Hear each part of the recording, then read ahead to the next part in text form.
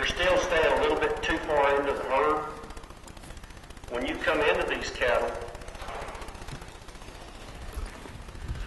you stop right here.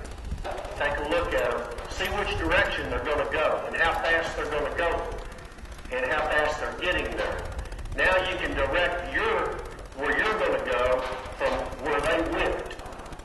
You can either skim across the front and get enough cattle, or you can come back in here deeper, depending upon which direction the cattle go. Now you've got a bunch of them that's coming up in good shop, good shape right up here. So now I'm going to be fairly aggressive walking up in here, opening this door. Now I can back away from here and walk all the way over here. Let all these cattle here see me. Now I can slide, I can start working up in my gaps now and see which one's going to let me cut it.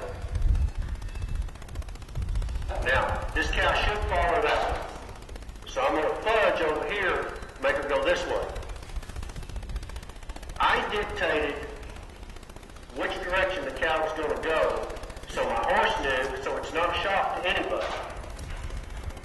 That's cow came this way, you wanted the cow to go this way. That's right. And the instinctive thing for that cow to do was to follow this one off. So I slid to my right just a little further to open the door back to my left and shut the door over here because I didn't want this cow to come in this direction. I wanted to tell my horse which direction the cow was going to go. What is my first move going to be?